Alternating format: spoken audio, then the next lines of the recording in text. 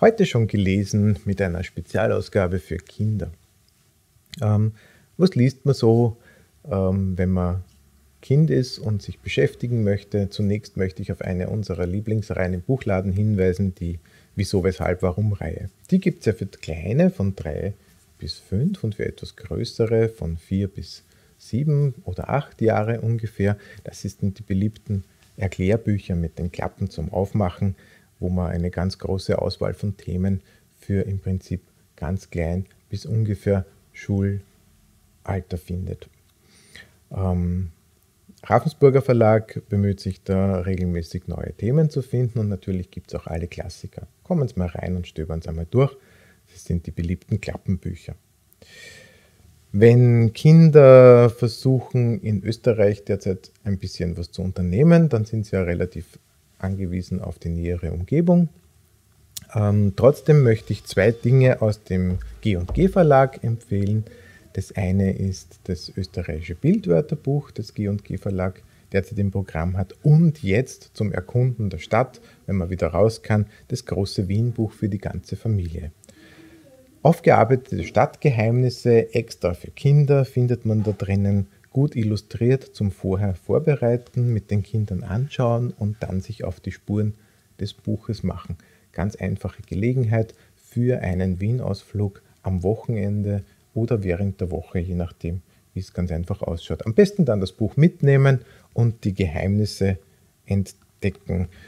Es ist natürlich auch ein U-Bahn-Plan dabei, damit sich die Kinder auch zurechtfinden und man ein bisschen den Kindern beibringen kann, wie man mit öffentlichen Verkehrsmitteln in Wien unterwegs ist.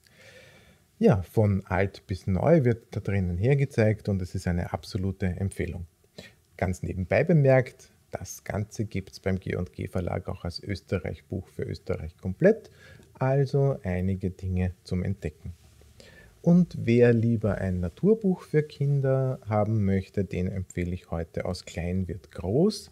Es ist die Geschichte eines Baumes, in, dem, in diesem Fall ist es ein Bergahorn, der vom Samenkorn bis zum großen Baum heranreift und wo man toll in tollen Illustrationen und mit schönem Papier drinnen wirklich sehen kann, was sich bei dem Baum so alles tut, wer den Baum besucht, was er für die Tiere und für die Umwelt alles tut und macht und wie so ein Baum groß wird und reift.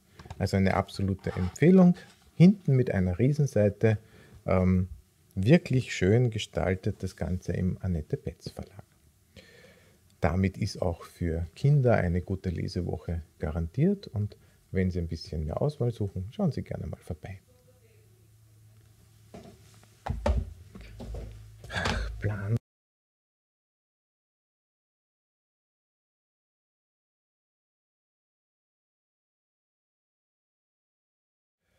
Ja, es ist natürlich auch ein U-Plan-Bahn. U-Plan-Bahn. Ich mach's nochmal. U-Plan-Bahn. was, ist, was ist das? Ein U-Plan-Bahn?